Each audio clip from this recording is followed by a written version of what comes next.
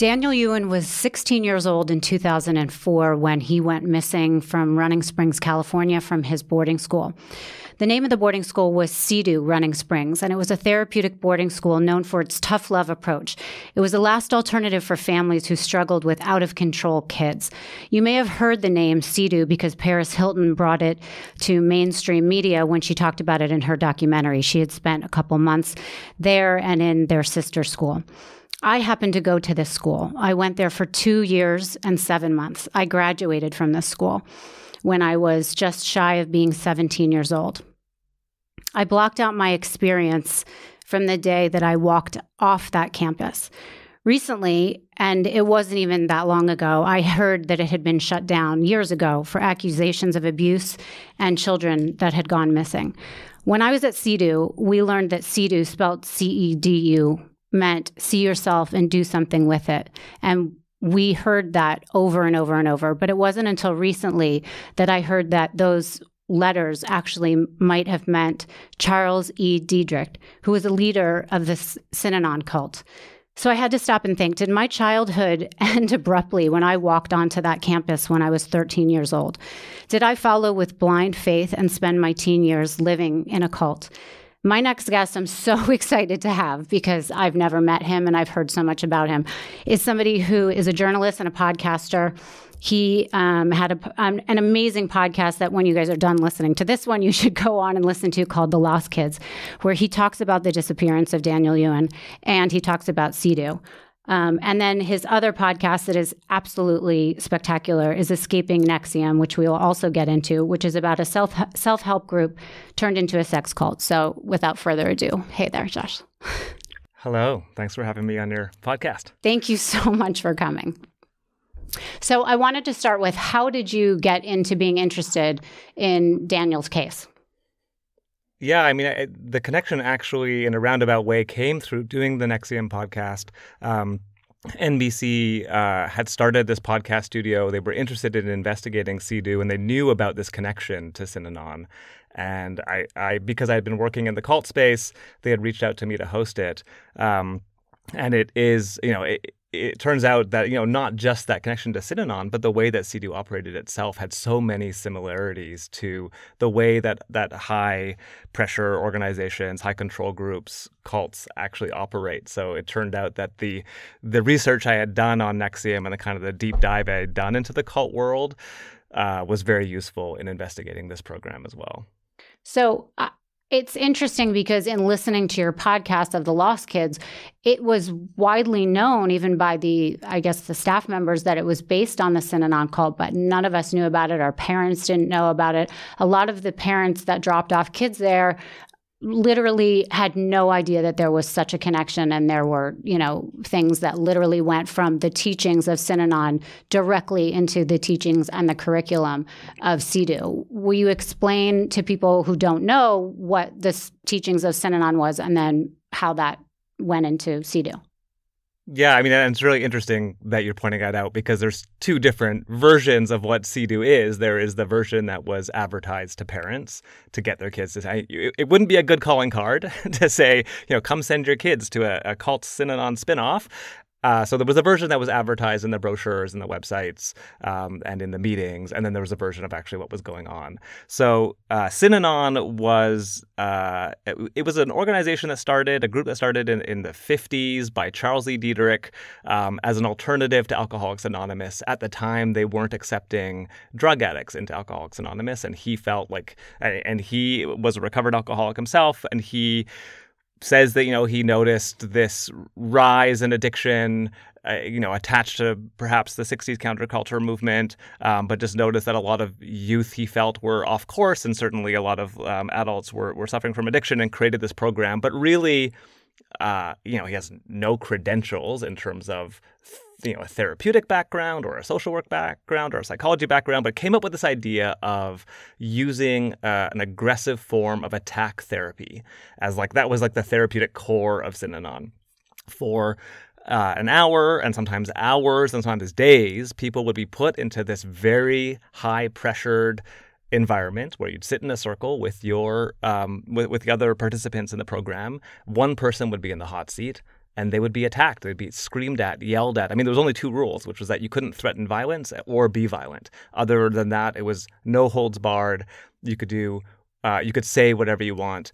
Um, and this idea of of using the, the idea that you know his logic was you use this tactic to show the person something truthful about themselves that if after an hour of being screamed at and yelled at and about your flaws that somehow um, I suppose you would see see something about yourself and see do something light, about it, so to speak. That's right. Um, and and so that you know it, the the the Synanon House when it started was kind of like this fashionable play. It was in L.A. It had like lots of connect- connections to Hollywood. A lot of celebrities would come through it. It kind of was part of this whole human potential and counterculture movement that was happening. Um, and people really raved about it and, and found that it was like it, that you know there were all kinds of uh, anecdotal success stories for folks, but uh, the organization started to shift. Um, and and one of the you know one of the key changes was when Charles Dederich said, you know, th- this is a two year program, and and after two years you'll be rehabilitated. And then he shifted to say uh, rehabilitation is a lifelong process, and therefore you can never leave C- uh, Synanon. You have to be part of a part of it forever. Um, and and then a whole bunch of you know they became quite violent um, and uh, and and started behaving in they, they were called one of America's most dangerous cults. But what happened was is that people from that that um, organization and affiliated with that organization started to scatter and create uh, a Synanon-like program for so-called troubled youth. They, they borrowed the vernacular, they borrowed this therapeutic model of attack therapy, of a kind of shame-based attack approach to helping people, and they applied it to young people.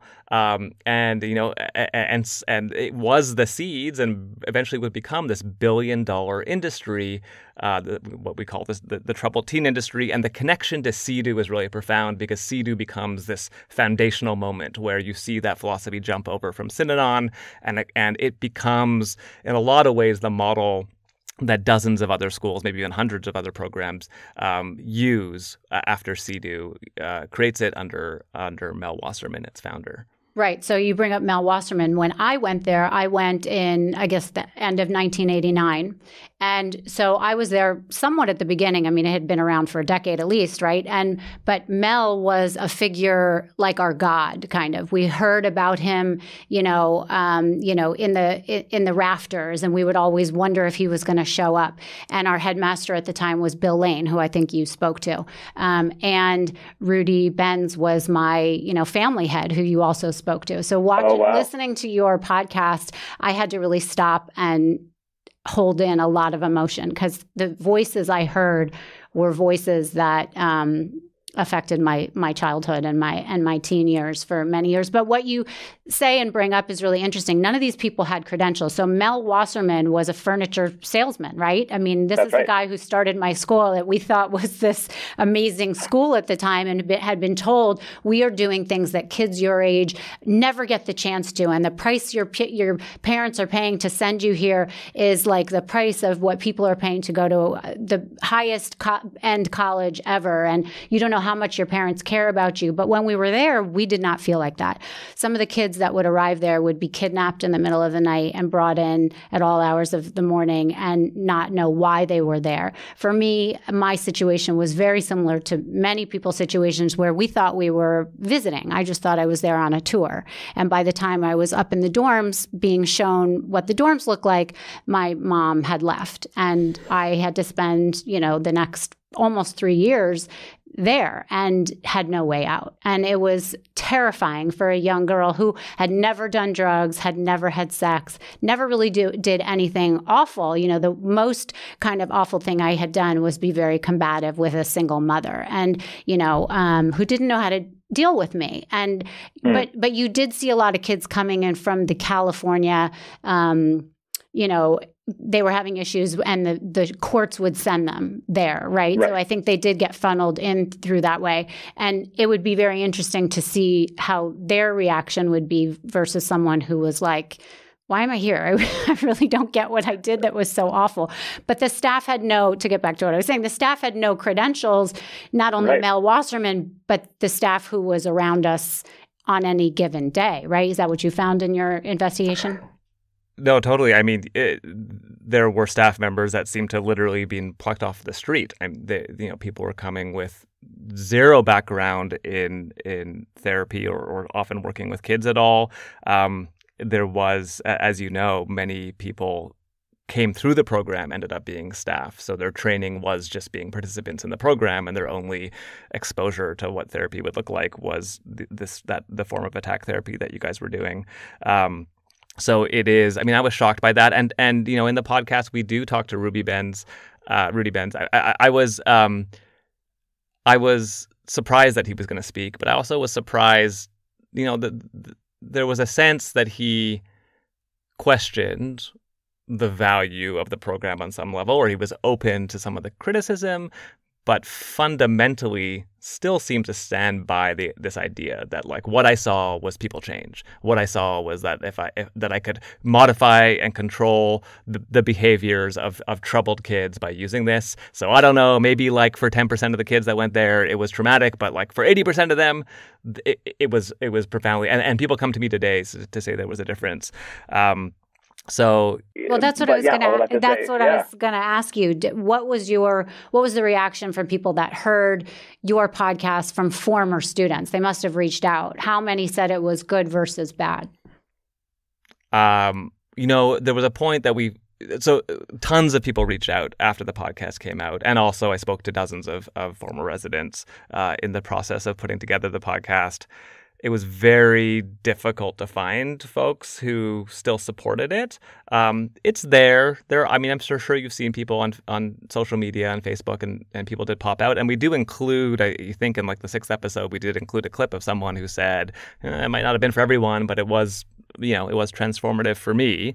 Um, but I have my experience was that that was the exception. I think a lot of people um, seem to have an experience that you had, which was I didn't talk about it. It was deeply traumatic. I had no way of even, I mean, part of, I think part of, you know, Daniel Yuen's time and certainly your time was this before social media. There was no, it was so difficult to form a community and to try and process what happened. And you're in your teens, you're already trying to understand how the world functions and who you are and kind of putting together what the world looks like. And to suddenly be dropped into this surreal, a you know high pressure environment, uh, I think for a lot of people was incredibly traumatizing. And because, uh, and so for a lot of people I talked to, they were like, I haven't talked like you know like you, I hadn't talked about this in decades. I didn't know how to even put a put uh, there was no language I could use to describe what was ha- happening. And I think that that has shifted for a bunch of reasons, um, including social media.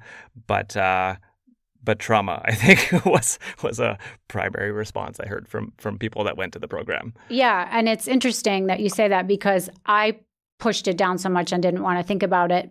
But then when i did think about it it was very traumatic. There's so much that has mm-hmm. to do with shame and humiliation from that school. Um, you know let me just start with explaining to people what it was like. So, there, first of all, there's a certain like vernacular when you go there. There are certain words that you follow, and when I hear these words, you know, your mind changes. Or certain music, you know, if certain songs come on, sometimes I have a physical response, and I don't even know why, and then it will occur to me. Like I can't listen to John Denver. I can't listen to Kenny Loggins. I can't listen right. to Crosby, Stills and Nash because those were we were only allowed to listen to certain music when we were there and it was on repeat in that main house all the time for you know the years that you're there.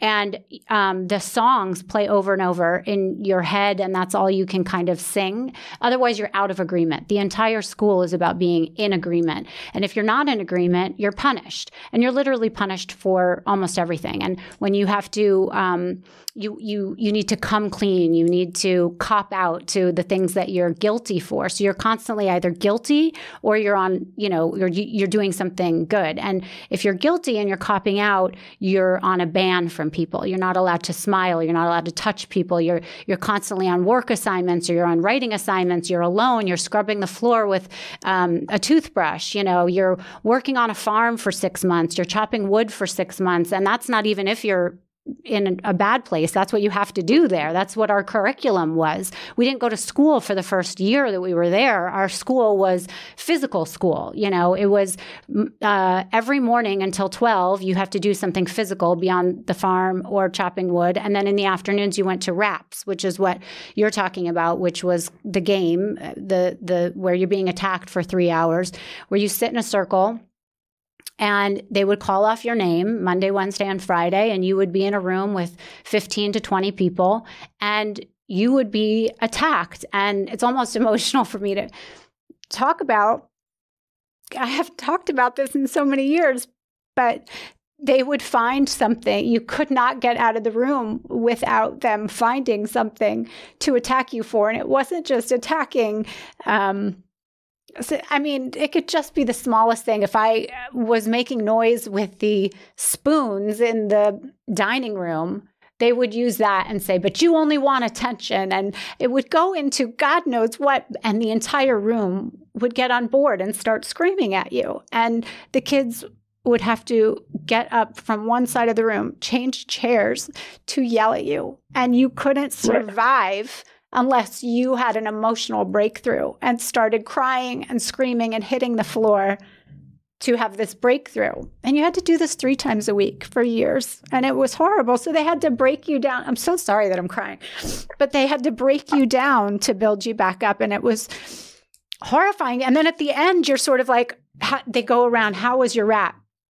And I remember everyone's response, oh, it was really hard, but good. It was, you know, I feel good. I feel right. really, I feel like I'm really making progress. I mean, that's crazy. It's crazy. It, it, it is. I mean, it took me so long to even try to wrap my head around this, and I and I felt like, you know, making the podcast, it felt like a daunting task of like, how do you even describe this weird alternate universe that that people are dropped into? And I think like one of the things about CEDU as compared to there, I've, you know, there's definitely been cases uh, and allegations around sexual abuse and physical abuse at CEDU. Other programs employed that even you know more as a tactic. But I think one of the challenges with CEDU was that the abuse was psychological. And in some ways, that abuse is, is, is invisible, and it's like it's hard to always um, show it and prove it, and and have you know. I think for a lot of former residents, they weren't believed. I mean, they come out of this thing and they just they didn't. Part of the not speaking, they told me, was that because no one. I couldn't explain it. I didn't have the language to explain it, and no one would believe me when it happened. But like what you're describing, those rap sessions. I mean, I think of I can't even imagine, you know, and I've heard this so many times, but what it would mean for 13 or 14 or 15 or anyone really to be sitting there and subjected to that kind of abuse for that long. Um, and so, one of the responses I heard from people, I'm curious to know if this was your experience, is there's a certain period of time of resistance where your mind is like, what the hell is going on? This is not normal. This is not okay.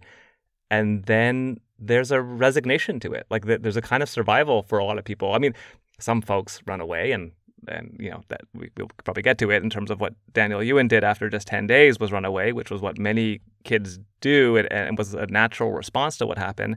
But then there's kind of like a I have to survive this and resign to this environment and there's so few cracks it sounded like to um, so a few ways to be resistant. I mean, resistance was met with punishment. So it's sort of like put your head down and get through it. I mean, is that what you found? Oh, absolutely. You could not resist anything. I mean, you even just from again being out of agreement. Just peeing in the shower wasn't allowed and you would get punished. I mean it was right. to this day i will not spit my gum on the ground because in the back of my head i'm like i will get punished for that. So i am so careful on things that i do. But i want to go back to one thing you said. There was mm-hmm. nothing mm-hmm. tangible that happened to me there. You know i didn't get physically abused. I was not sexually abused. So when people talk about CEDU and if you got abused there and i hear people that talk about this abuse that went on there None of that happened there to me. None of that happened in the th- in the almost 3 years that I was there. I don't think to anyone that was at that school because it was run in a way that we were very I, we would have seen it. No one's ever complained about it there at that time, but we were so abused uh, emotionally, and right. um, and when you don't have something tangible like that, it's exactly what you say said. It's you can't explain it to anyone. You have no proof. And to this day, I try and bring it up with my mother.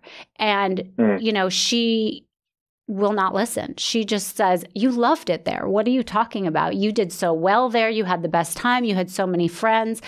And it just triggers me back to that place where I was 14 years old and I just feel like no one's listening to me and I'm just stuck in this position where I'm just like, okay, forget it.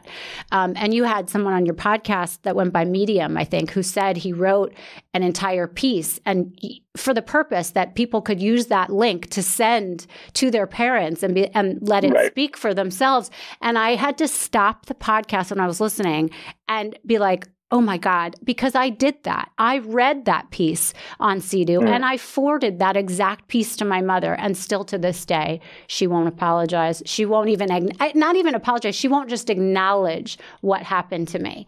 And, um, and that breaks my heart. You know, it's it's really tough on on me for that. But to get back to what you were asking, um, yes, for um, it took me a while to um, get the courage up to run away. I ran away three times while I was there.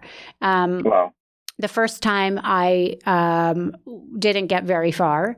Um, the second time I was sent to juvenile hall because my mother wouldn't take me home. Um, she thought it was a great program, and um, you know, what I forgot to say before is our calls and our um, mail was monitored. So you couldn't right. write out and be like, I this is miserable, I'm miserable, come get me because they would not let you send that letter.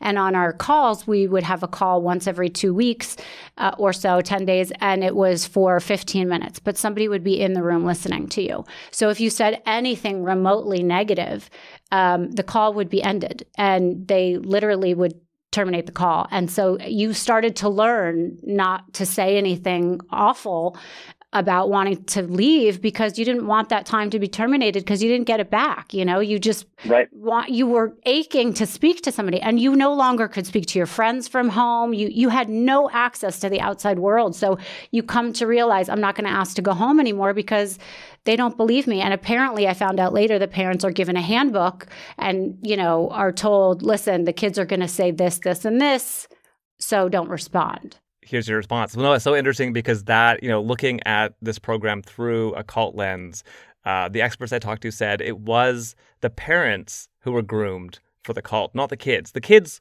were sent there unwillingly. I mean, unlike another cult where you have to entice people and love bomb them and bring them in in all kinds of ways there you have custody. So it's not an issue. You can't you know you could try and run away or whatever but it's the parents that you have to convince. And one of the strategies is this different version of CEDU that is presented to them, and you know that and, and that close monitoring of information, not allowing the residents of the program to say anything to their parents, giving the parents the handbook. I mean, like that is such a and and and um, Daniel Yuen's parents, Wayne and Lisa, to, you know, talk about this and how duped they feel felt because Daniel complained to them. He was in there for a few days. This is a terrible school, and and and Wayne said, yeah, "I had the handbook. I knew that Daniel was going to say this, and I was instructed to say, okay, it's going to be fine. Stick it out."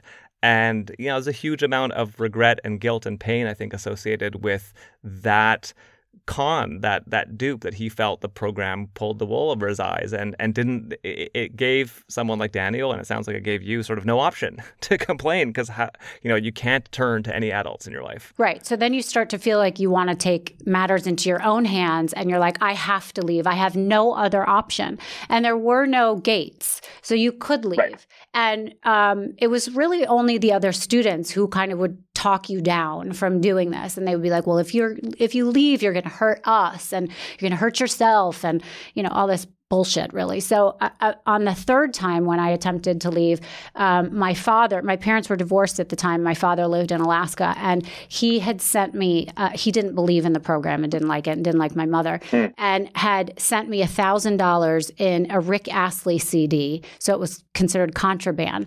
And I opened the Rick Astley CD, and I knew I was going to have to give it back because uh, well, we can't listen to music. And right. um, I somehow saw that it was packed with something and I found the money. So I took the money out. I handed in the CD saying, Oh, look, I'm copping out. I got this CD. I'm not allowed to have it. And I stuffed the money in my pocket and I immediately was like, I'm out of here. I didn't realize like I was going to run away again, but with that money, I knew, okay, I'm out of here. So I ran away a third time and I was going to go. The money was to get a plane ticket and to go see my father. So I get to the, I hitchhiked down the bot to the bottom of the mountain. This is a very mm-hmm. dangerous place. I mean, going down to the bottom of the mountain, hitchhiking as a single female was like not a very smart idea, but somehow I made it down, hitchhiked, got down to the bottom. I called my brother, who my half brother, who I had from my father's side, who I had not seen since I was four years old. He happened to live in LA. He picked me up and he was supposed mm. to hmm. take me to the airport. And he said, This seems a little odd. I want I want to see the school. Um, and if I don't like the school, I'll take you to dad. But our father had some drug issues, so he didn't want me necessarily to go to my father's house. So he takes me back up to the school after staying with him for a couple days and getting to know him. And uh, he goes and he sits in a room with Rudy Benz and Bill Lane and these people. And um, I sat up on in the in the couches, and four hours later, he comes back and he sits with me, and he's like, "Rachel, this is an amazing school, and you have mm. to stay. I'm not going to take you back with me." And I was just like, "Oh fuck, this is I'm stuck here again." And so, to answer your question, that's exactly you know at that point, I was like, okay, I'm done. This was my last attempt. I'm never getting out of here. And something in me clicked. And I was just like, I have no support. I have no way out. So I started thinking, all right, I only have a, at that point, I think I had like a year, le- a year and a half left. So I was like, okay, I'm going to just try and get through this because I'm never getting out of here. Right. Yeah. Right. And so, and, and you, and sounds like you graduated. I mean, you made it all the way through. I did, but I, I will say shortly after that, um, I had a phone call with my father, who, um, again, on these phone calls, they're they're listened to, and my father has had a drug addiction.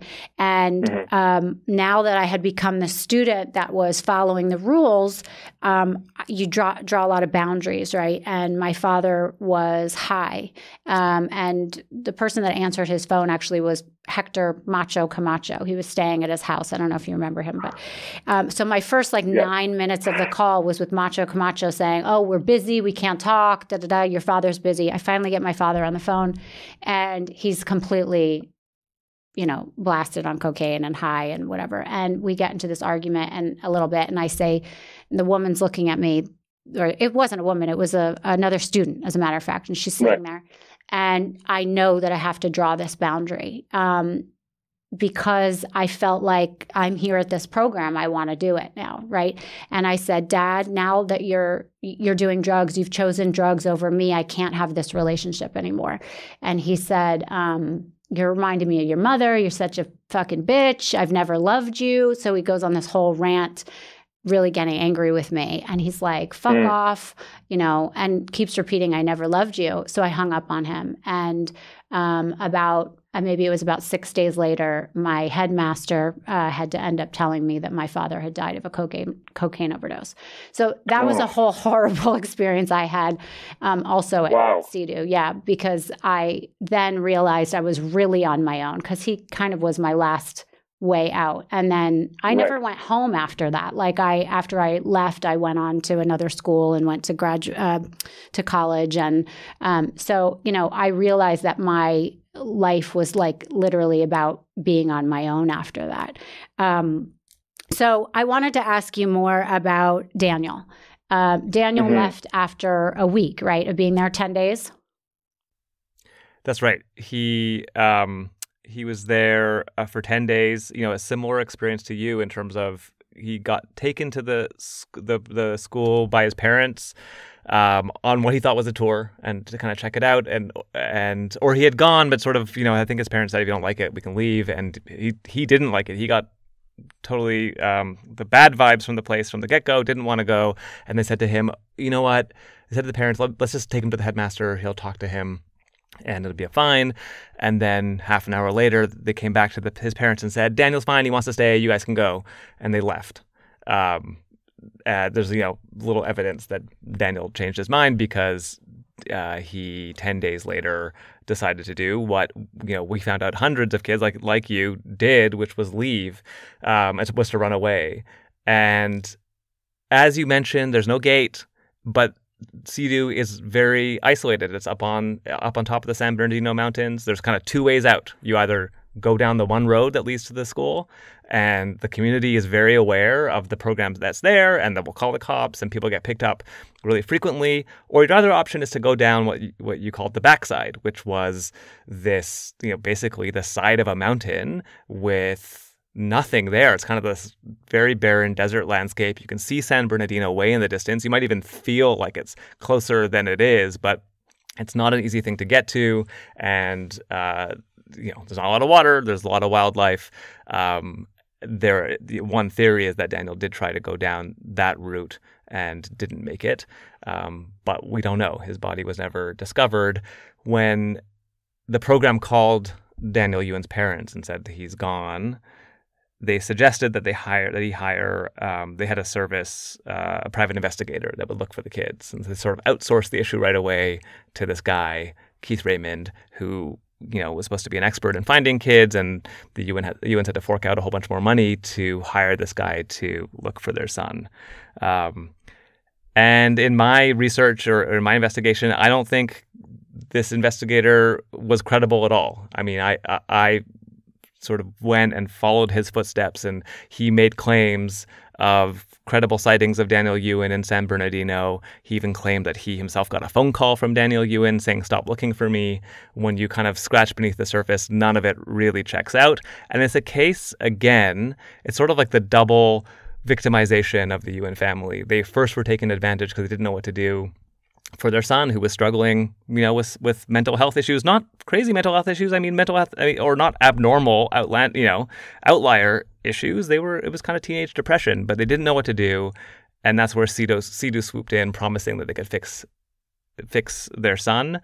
Um, and then and then again, you know, they're in this moment of vulnerability. Their son is gone, and suddenly this fairly sketchy private investigator shows up and charges them a bunch of money to look for their son. So it did, you know, their story was was tragic on a lot of levels, um, but spoke to how this industry can prey on on parents who are not sure how to help their kids. Yeah, a hundred percent. Now, in your documentary, you had, or sorry, your podcast, you had mentioned about um, that that phone call that Keith suggests he gets or alleges he right. gets. And I wondered had he ever had the parents asked to listen to the to the phone call to the audio tape?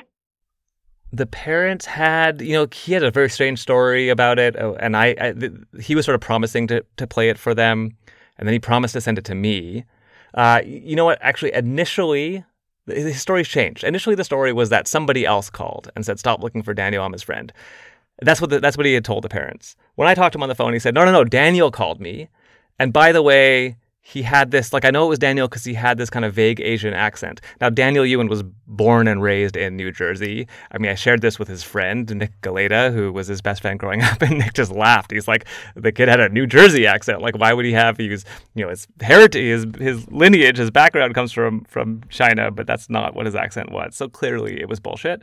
Um, but, but I, you know, I, what I didn't understand yeah. is why the parents, if they're hearing that from Keith, from Keith, why they didn't demand, I want to hear this this voicemail. I, I need to hear it and go to right. the police. And you know, instead, it seemed like they were just very happy with him and they believed him, and that made me really sad for them. Yeah, yeah. And my sense is that that, I, I, and I agree, and I'm sort of even a little bit um, torn about you know what to say about Keith because they, they the, the Yuens do believe that their son is alive, uh, or at least they did at the time, and they had a lot of faith in Keith. At least at, at the time I was making the podcast, I think that's shifted a bit, um, and he was quite manipulative. So yes, they wanted they wanted, you know, once they knew about the recording, they wanted the recording, but then suddenly he was had to run away from the police because he had been investigating the story too deeply and he was ruffling feathers. And then he was on his deathbed um, and was too sick to respond to anything. So he had a million stories, and the stories were like he wasn't even a good liar. I mean, in my correspondence with him.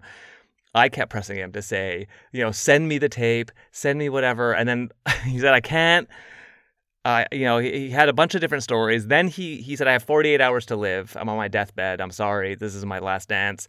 And then I got an email the next day from the from his email account saying, "Hey Josh, this is Steve. I'm I'm uh, Keith's brother, and I see you've been corresponding with him, but I'm sorry, he's now incapacitated and he's too too ill to correspond with you." Um, so is he dead? Which was just well. Turns out a few months later, uh, you googled Keith Raymond and like his website popped up again and he has a contact information there and it, and it seems he is alive and well and did not die. Oh, um, so I think he's he's a he's a, a, strange and not a particularly good liar. Um, and I think you know at the end of the day, I think the the the Yuens did start to realize that that not everything he was saying was truthful. Which is so horrible for them. I mean, I just feel for them so much because, of course, they want to have hope, and there there is an answer to what happened, right? I mean, nobody just disappears into thin air. And but what happened with the police? I mean, why were they not more involved? Well, you know, a huge pattern I discovered in this investigation is the failure of authorities to do anything about this program. So, yes, you know, you, you were talking before about uh, that primarily there was psychological abuse, but there was a lot of violations of uh, CEDU's license as a um, as a program working with kids. And it, it, when we asked, we did a freedom of information with the California Department of Social Services, and we saw that there were hundreds of complaints made to them, and they were not followed up on, including the Type A complaints, which are the most egregious. So, you know, talking about withholding food from kids, you know, physical abuse. There were also allegations. Uh, one former resident said that she was repeatedly raped by two other residents and had complained to.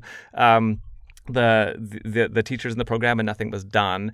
Um, and so what we saw you know and we pressed the, the, the the Department of Social Services on this and why why did no one do anything? And we really got the runaround on it. And a lot of it is just sort of shirking responsibility. It was previous you know previous folks running the department um, you know or we have limited information.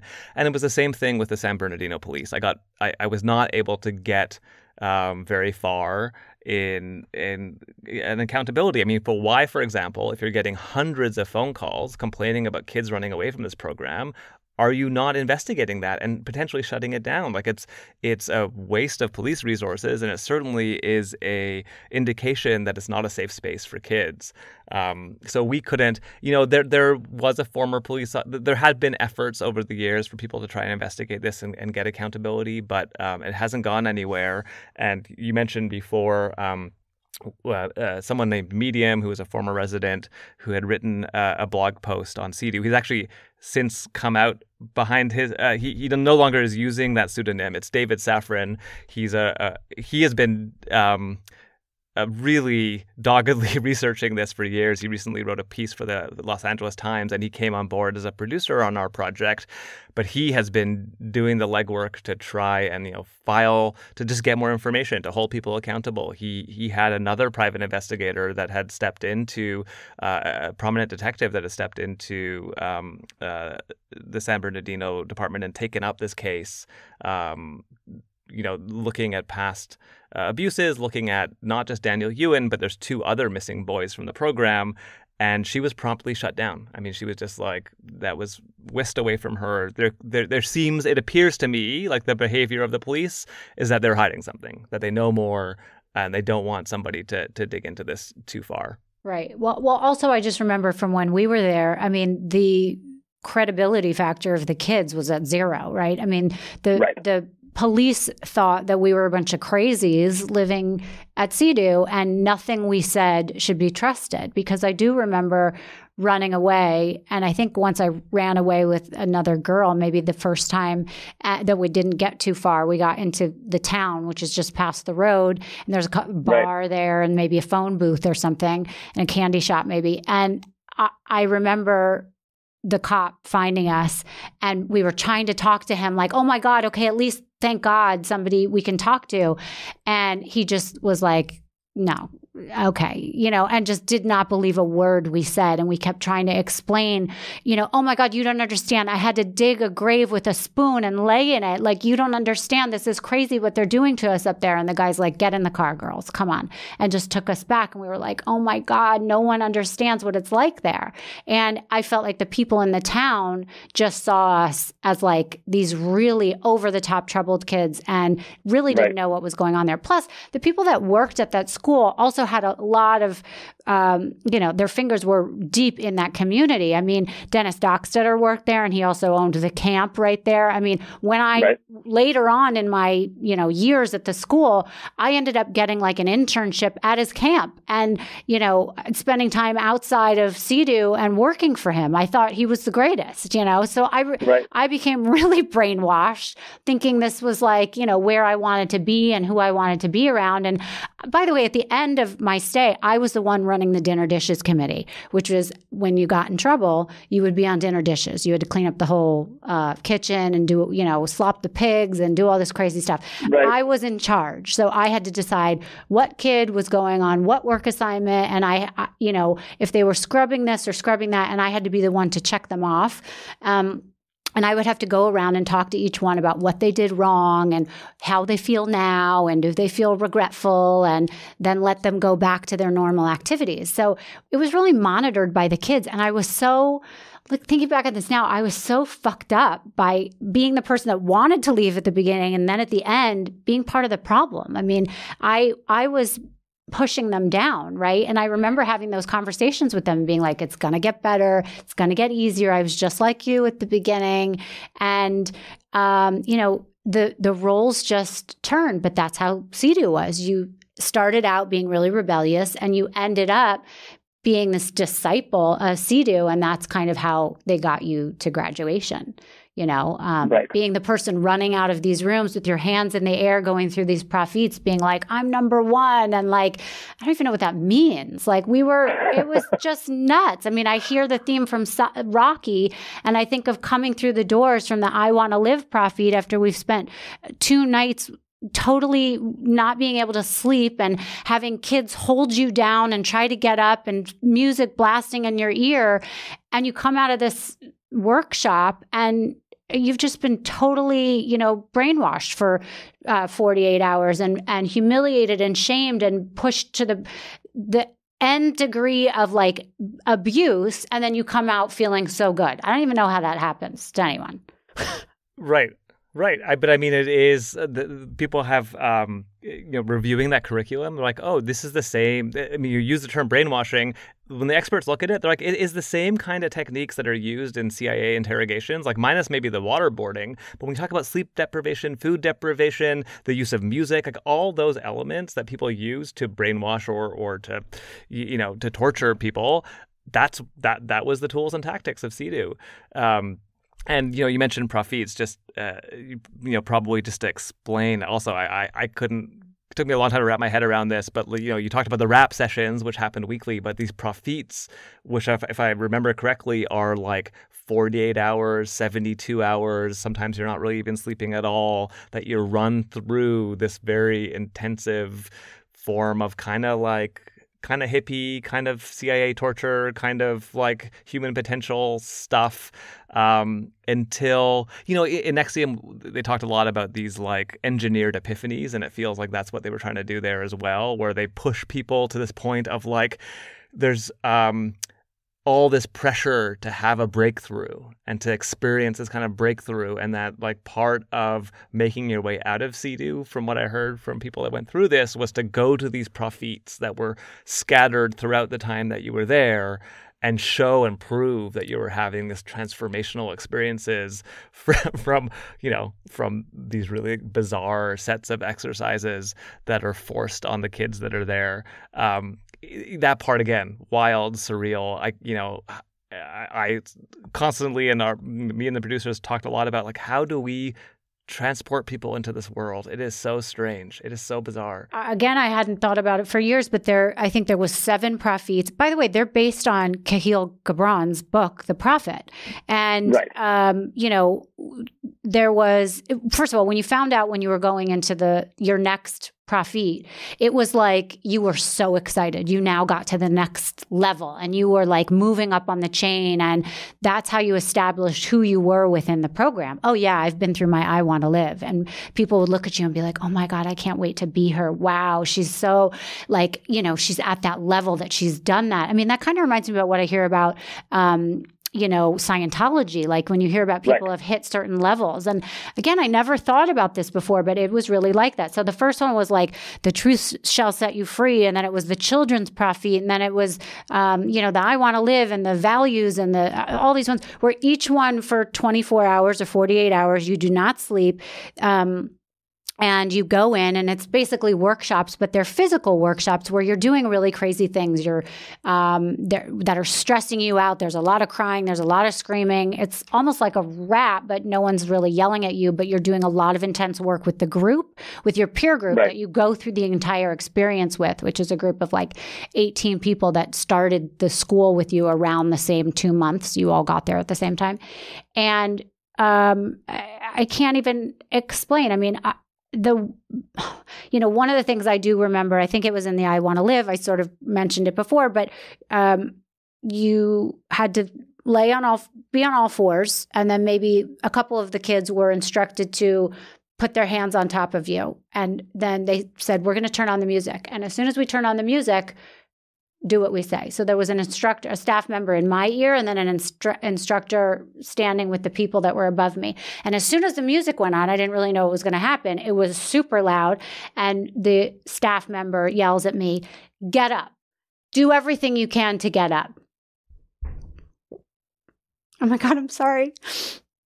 And no, um, it's so horrible. And so you it's just like you're like, oh my God, okay. So I'm on all fours and I try and get up. And obviously I can't because the kids have their hands on me and they're pushing me down. And so when the music started, the instructor yelled to those kids, push her down. Don't let her get up.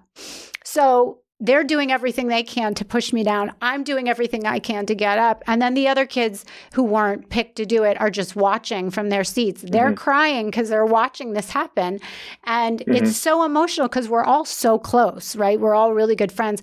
And the staff is yelling at the kids pushing me down. Who have you pushed down in your life? What have you done to people to push them down? And the staff yelling at me is saying, Who's kept you down in your life? And who who's been responsible for never letting you get up? Is it you? Is it your father? Is it your mother? What is it? And they're screaming at you and it's so emotional and terrifying. And um, you don't know when it's going to end and it's physically exhausting. Anyways that was just one example of something i remember from a prophet so they right. were awful. Yeah, yeah. bizarre.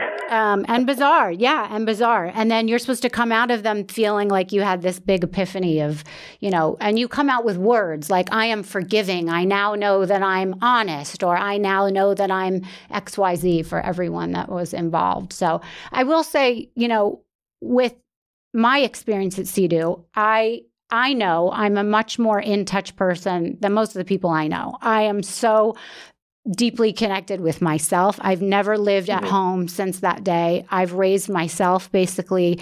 Um, I find that when I meet people, I am very in tune with people and their energy and who they are. I learned that from being at CEDU, but I live in a much more heightened state of awareness or threat or shame or humiliation than probably most people because I'm so yeah. used to the confrontation and the and, and always feeling like something's going to happen. So the way I react towards people is also very different. I might yell when I talk and not even realize that I'm being confrontational and then be like, okay, I want to get some pizza. And people are like devastated. They're like, you were just screaming at me about something. And I'm like, no, I, I wasn't. I was just telling you how I feel, but now that's over. So like, let's go cuddle or whatever, you know? and, there, and it does not go over well. And um, so right. that kind of thing has never um, left me. But I feel like I'm good about following agreements and rules and, and boundaries, so to speak, because of that school. That's interesting. That's interesting reflection is like one I heard both from former residents of these programs, but also from people that left NXIVM um, about the process of leaving and how the, the there's a stage of like total rejection of everything. Like everything about NXIVM was bad, everything alert was bad, or everything about CEDU was bad, everything alert was bad, all the people are bad.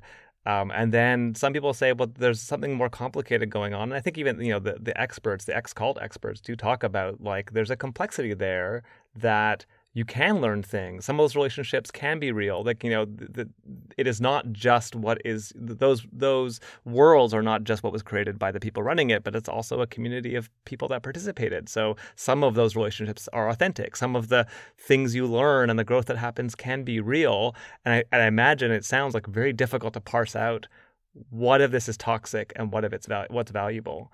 Um, you know, especially inside these these programs that purport to be uh, to help people be better.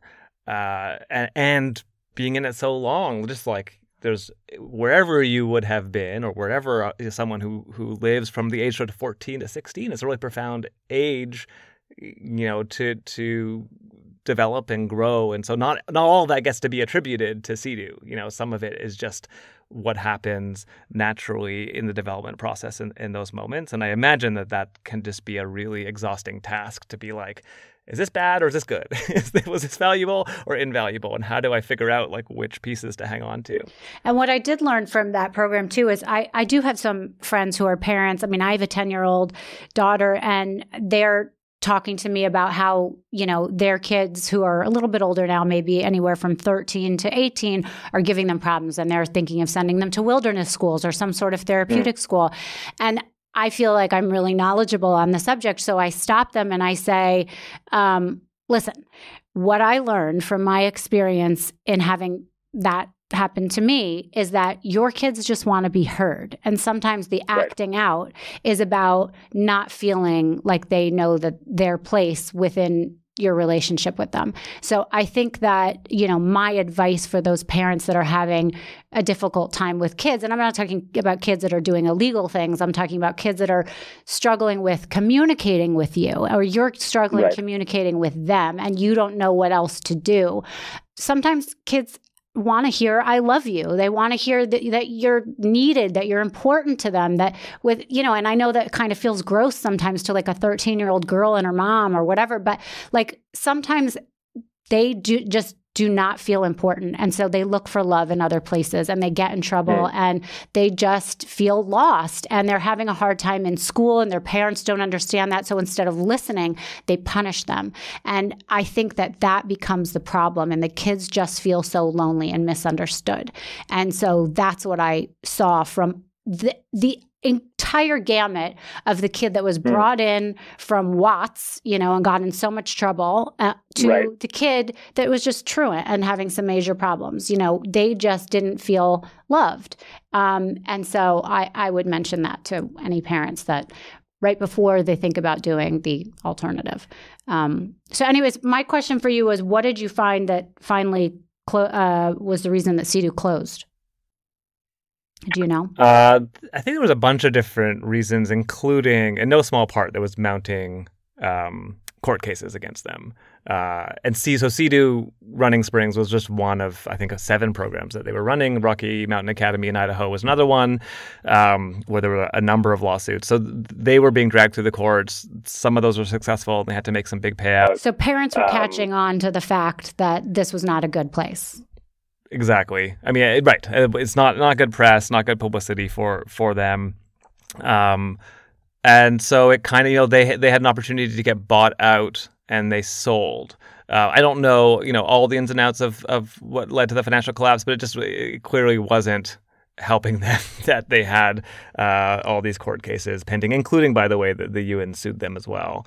Um, and they eventually sold and then the company they sold to went into bankruptcy and now those i think there's one program uh, that still sort of exists um, not run by CEDU but sort of as the last remaining program for troubled for troubled youth that that comes from that. Um, that's CEDU corporation but there are hundreds that exist uh, of other um, programs in the troubled teen industry and they exist in different format. So this is one. This therapeutic boarding school is kind of like one version of of the programs for troubled teens. But there's, as you mentioned, the wilderness programs, which is like the same thing but in the wilderness and even cheaper to run because you don't have to like pay for a facility.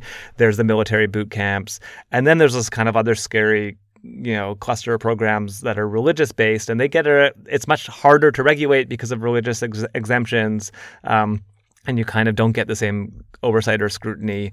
Uh, the limited oversight that there is on any of these programs doesn't doesn't even apply in a lot of cases to the religiously based programs. So now that you've done all this investigation, would you ever send your kids to one of these types of schools? Uh, hard no. Um, no, and look, I, I, I do.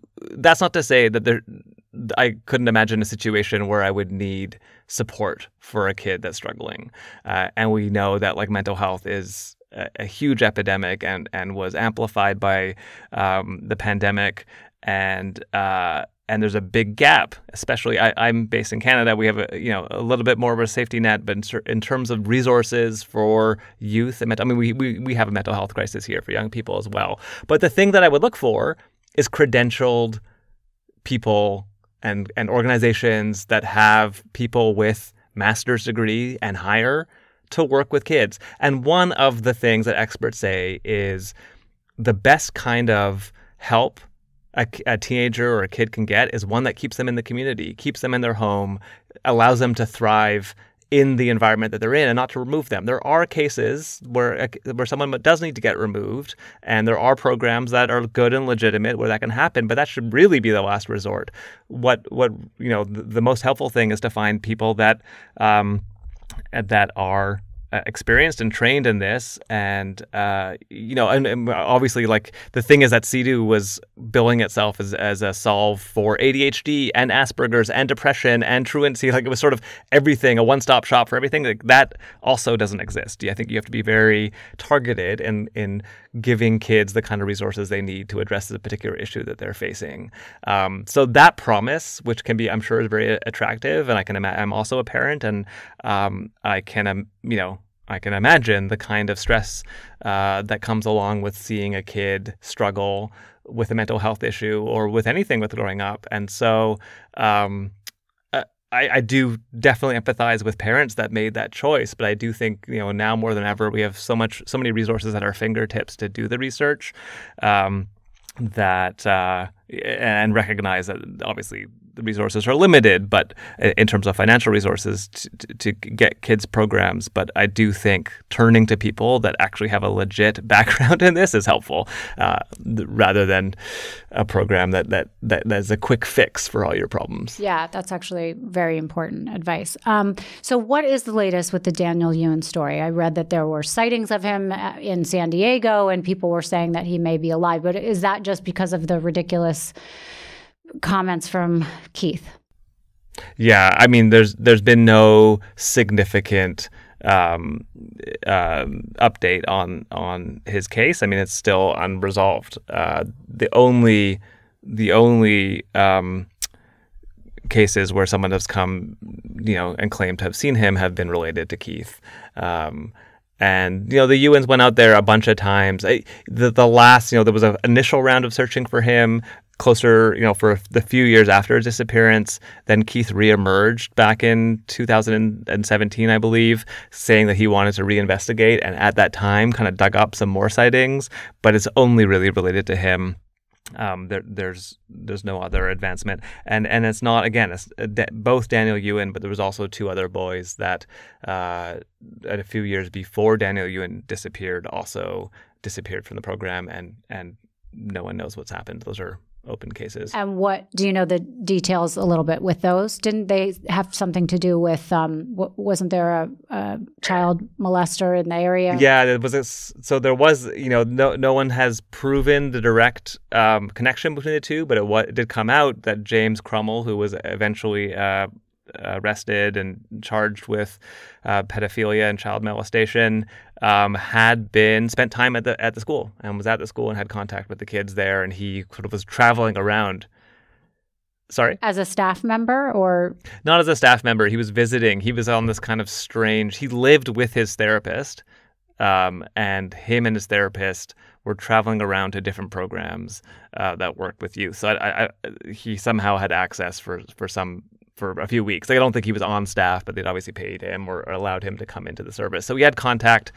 Um, he was there around the time that that those boys went missing, and uh, and there were other um, cases of kids going missing at that time that were related to him. So one of the questions is whether uh, whether he was responsible. He he's no longer alive, so it's it's hard to get it directly from him. He died in jail. He died in jail. Yeah. Um, and were those kids they had run away and gone missing, or they just disappeared? Um, I believe they had no. Th- those two had run away. Okay. Um, and it was, I mean, I spoke with Blake Persley's mother um, about her story, and it is just like unbelievably heartbreaking in terms again of you know Blake per- Blake Persley, one of the boys that had gone missing, was in an uh, had an, uh, was disabled from an accident uh, as a kid, and they got a bunch of insurance money to give him like really he needed really a lot of support, both mental and physical, and the mom got totally duped by CEDU and claimed that they had all these resources to support him, and he he obviously um, was very unhappy in the place and and ran away. But they don't know. We don't know. You know, the account is like very limited. You have these reports from CEDU that says, you know, we saw him walk off the campus at X time, and then we don't know what happened. So uh, that's CEDU's claim is that that that they both walked away. Wow. Um, that's just incredible. Okay, so in doing your um, research on cults, you also did NXIVM. Talk to me about NXIVM. Explain what NXIVM is to people that don't know. Um, so NXIVM, it's funny because you know when we started investigating it, really no one knew what NXIVM was. I think more people do now because it got it, it was in the media for a little while. But NXIVM built itself as a self-help organization um, that uh, that then the FBI kind of shut down and eventually arrested arrested its leadership for um, I mean, they were charged for racketeering and a whole bunch of other kinds of uh, abuses of the members there. But the uh, critics of the of the organization say it was a cult, and it really was this organization very tightly wrapped around a charismatic leader named Keith Raniere, who claimed that he had developed a philosophy that could help people uh, you know, achieve the, their dreams and successes. Sometimes those dreams and successes were achieved by sleeping with Keith Raniere, um, and sometimes people were done that uh, were forced to do that because they were being blackmailed. Wow. So the thing that came out of uh, NXIVM that I think surprised people the most is that women were branded, and your friend from childhood was one of the women that was branded. Is that correct? That's right. Yeah, I mean that's how I came by this story. Was that uh, a, a woman who I have known since daycare was part of this organization for many years, uh, for I think over 12 years. Um, and she was actually their star recruiter. She lived in Vancouver. She opened up a NXIVM center in Vancouver. She brought in uh, a lot of folks from the acting and from the yoga community to be a part. Um, of of NXIVM and take you know NXIVM's bread and butter was running these expensive self help workshops um, uh, that people would you know pay more and more money to kind of ascend through the levels, maybe un- not unlike you know Scientology in that sense. Um, to learn to be a better person, but as you got higher up in the organization, you started to um, get privy, become privy to some of the more um, cultic and strange activities within within the organization. Sarah was invited to become part of this secret women's group that was supposed to take her training to the next level. So she herself had spent tens of thousands of dollars on her own curriculum and self improvement and just sort of this endless hamster wheel of like pouring in more money to deal with her her deep deficiencies. Uh, and so when one of her mentors approached her and said, "Hey, like we're going, you're gonna achieve." Um, you know, your greatest heights in NXIVM and really take your your your training to the next level. Uh, it's part of this all women's group, and in order to be a part of it, you have to give over collateral. So things that if they came out would destroy your life.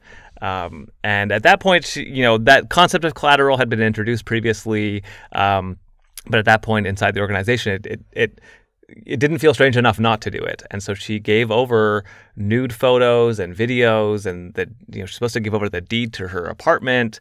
Um, and she gave over like uh, she had to create videos of her uh, saying awful things about her loved ones, about her husband, and about her mother. So these were things that that then were given to the people running this little the secret women's group um, and would be released if she ever violated the terms of being involved.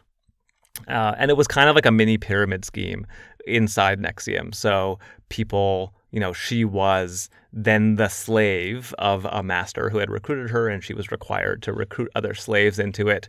And it became this incredibly controlled group uh, that if someone if your master texted you you had to text back within you know a circumscribed amount of time within minutes you know are you ready? Yes i'm ready. You had to um, there's a whole bunch of things that you had to constantly like achieve your goals. You had to keep re-upping on your collateral to to you know show your commitment to the to the group.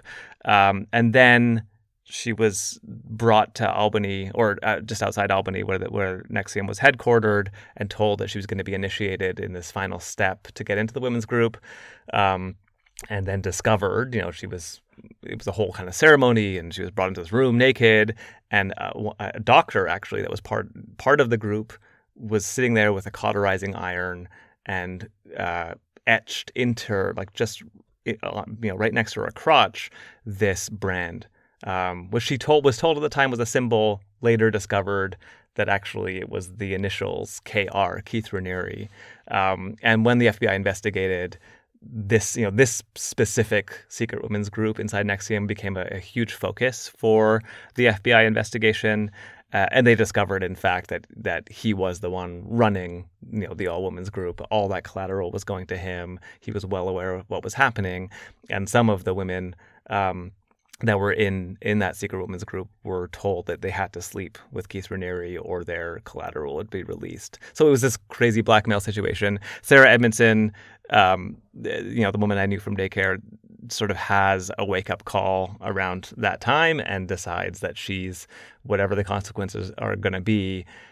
Go public and leave the organization, um, and so I ran into her about. What do you think that wake up call was? I'm I'm curious.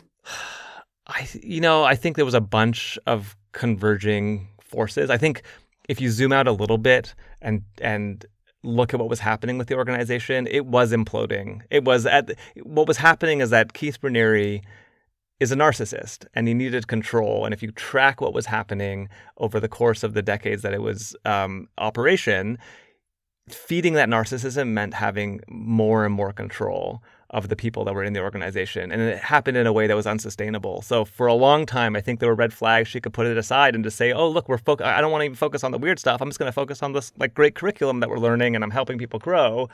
But the more she got into it and the more red flags emerged and the more he had to control people, I think it, became clear um, that this was not something she wanted to be a part of. Certainly, the physical trauma of being branded, I think, was a big wake up call.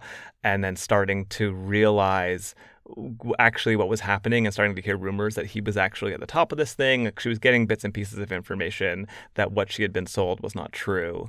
Uh, and I think it was it was obviously terrifying for her. I ran into her literally a month after she had left. I mean, NXIVM was like up and running still people had tried to leave before and they were dragged in the you know their lives were destroyed by NXIVM in the same way that Scientology would go after people that defected NXIVM would go after people really aggressively. And so when I ran into her she was like reeling and barely um, intelligible. I mean she she was still trying to process what had happened to her and NXIVM like CEDU uses a lot of like jargon, and so she's trying to explain the story to me, and I had I couldn't actually entirely track it, um, but I did track. You know, I ran to her a few times. She said people are being branded, and there's branding, and then like, but the third time I ran into her, she said I've been branded, and she showed me, and I just thought, oh my god, like it was, it's you know, and that obviously was like 12 years of indoctrination, and that was the culmination of it. But that that for me also was just a big wake up call about how serious. Um, the situation was that she got herself into. But she went to the New York Times, and like a couple months after I first spoke to her and started recording the podcast, there she was on the front cover of the New York Times, showing that brand. And very quickly, uh, the FBI launches an investigation, and and the whole thing starts to crumble. Um, actually, as we were reporting the story, it really went from this organization that was like running full speed to the leaders are have run off to Mexico to now they're arrested and then they went to a trial. So it was quite um, a heady time and just seeing how something can kind of completely crumble before your eyes. Wow. So she was one of the original whistleblowers and helped basically get him put away, right? And now isn't he going to be in jail? He's there for over 100 years or something, yeah? Yeah, I think it's 120 years in jail. I don't think he's coming out. And other people were arrested too, I think, yeah? Yeah, there was a whole but there was a number of co-conspirators. I think three of the others are are serving prison time. Two are um, under probation, kind of house arrest. Um, everyone else, no one else went. Everyone else pleaded guilty. Um, and uh, are facing like between I think 12 months and, and five years in prison. Wow, it's so interesting. All right, so in your investigations with cults, with both these podcasts, I guess with CEDU and with NXIVM, what was the most interesting thing or scary thing, or uh, you know, that you uncovered for you personally? I mean, one of the things, especially doing the NXIVM podcast and after that came out was uh, so many people came forward with stories, similar stories of being involved in a in a cult. I didn't realize the epidemic of cults that existed. I sort of I had heard about the high profile ones and the big cases that kind of everyone knew about, but there's so many rinky dink versions of exactly the same thing, and they're all cookie cutter versions you know, they all run by the same playbook. They all have a charismatic leader. They use the same kind of tools of pressure and indoctrination. Um, and usually there's a sexual component to it, and often a, violent and abusive component to it. Um, but the the like scary thing to me was that often, you know, sometimes it was ten people living out in the woods somewhere, like in the Rocky Mountains, or you know, and and it would never. Um, get any attention. Uh, so that to me was wild. Like I literally just got dozens and dozens of emails of people, um, and then you know, and then there was a couple times that that we there were cases that we thought we might look into.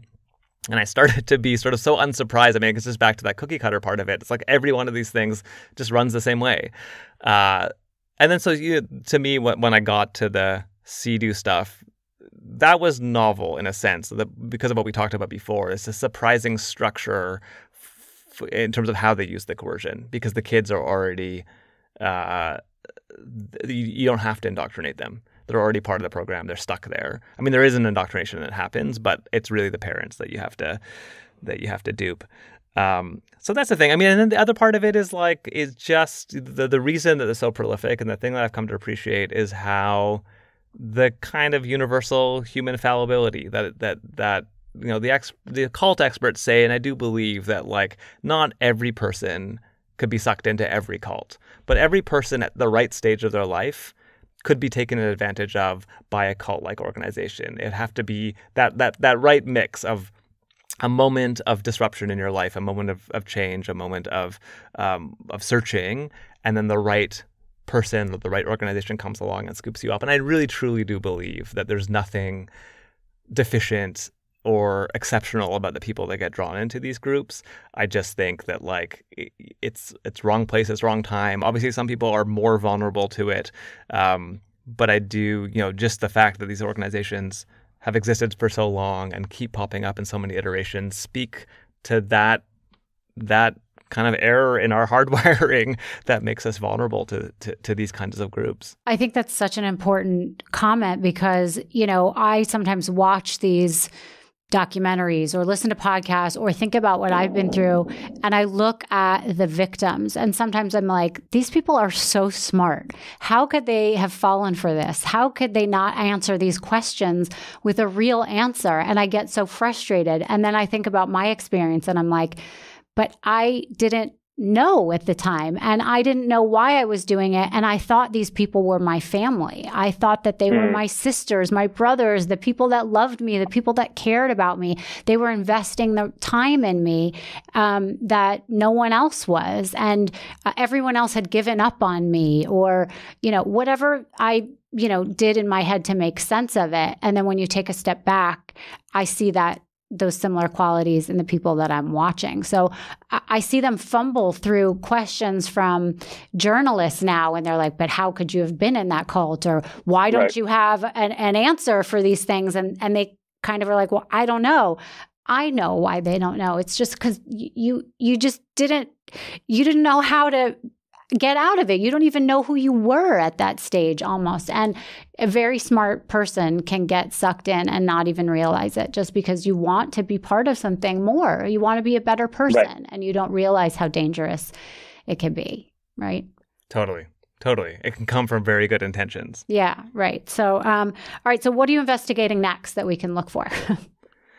uh, so, I actually, um, in a surprising turn of events, I ended up taking over the kind of day to day operation of the podcast studio where I made The Lost Kids. So I'm I'm I'm now kind of overseeing uh, USG audio um, in a more of an exec exec producer role. So I'm not doing as much on the on the ground stuff. But we just released a really a, a beautiful podcast, um, a beautifully crafted podcast about a, a, really intense subject, but about a hate crime in Chicago in the 90s. But it's kind of part memoir, part investigation um, about this hate crime that occurred uh, against a young black boy that was sort of going to the white side of town to get air for his um, uh, tires for his bike and is beaten into a coma.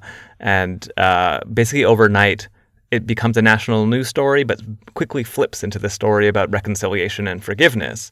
And the host that was in his 20s at the time and was and is himself black and from the south side of Chicago and is like, what the fuck's going on here? This doesn't make any sense. Like, why are we talking about reconciliation? This guy, this kid's about to die, and he investigates the story at the time and uncovers a fascinating. Um, uh, you know, network of power underneath that's operating uh, that the you know the, the the guy, the main kid that was charged with beating up this kid was actually the son of a very powerful um, boss who people have alleged is a is a mafia boss in Chicago, uh, and he was paying off. Uh, or or pressuring leaders in the, of the black churches to preach reconciliation and to turn the story into one about kumbaya and let's hold hands together. And it was very effective in, in pivoting the media. Anyways, it's a, a long-winded um, lo- pitch of that series, but I highly recommend taking a listen to it. It's called "You Didn't See Nothing," um, but we have a whole slate of podcasts coming out um, and and stuff that I'm very excited about. Great. Okay, and so and where can they find this podcast? You find it, you know, wherever you, wherever you get your podcast. After they listen to your podcast, I'm sure it's up, uh, you know, uh, on Apple or Stitcher or Spotify. Um, it's all available. Uh, but it's USG Audio, so we actually have a channel now that if you just punch in USG Audio, uh, the whole our whole slate will pop up, and you can kind of scroll through it. Terrific. Okay, thank you so much. I so appreciate your time. Thank you.